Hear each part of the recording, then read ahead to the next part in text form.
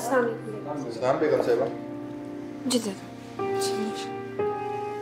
बेगम सरकार शनाज ले जाएगी मम्मा को कमरे में चलो नहीं मैंने सारी तैयारियाँ करवा दी इनके नए कमरे की। मैं शहनाज के साथ ले जाती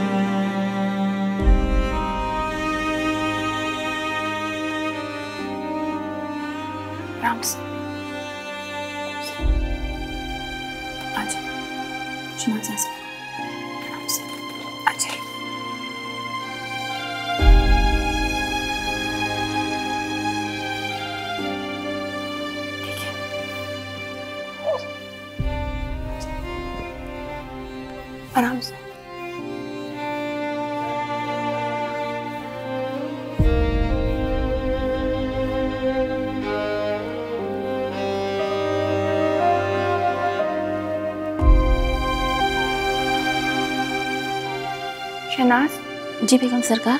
फरखंदा बेगम के लिए सूप लेके आओ। जी अभी लाई ठीक है ना?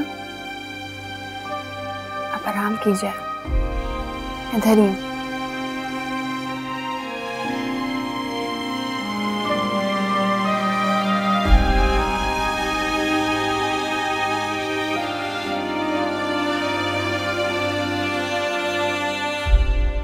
रहमा, क्या हुआ आप?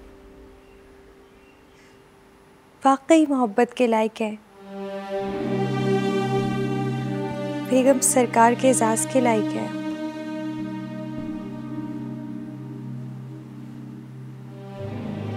मेरे बाबा दूर अंदेश थे, इसलिए सही फैसला किया उन्होंने।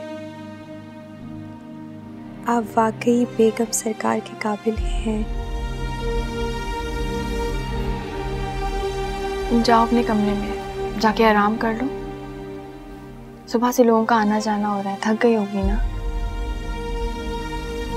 आप नहीं थके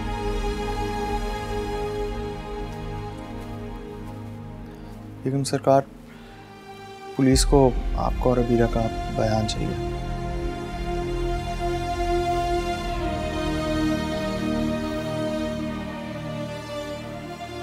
मैं शहनाज को भेज रही हूँ।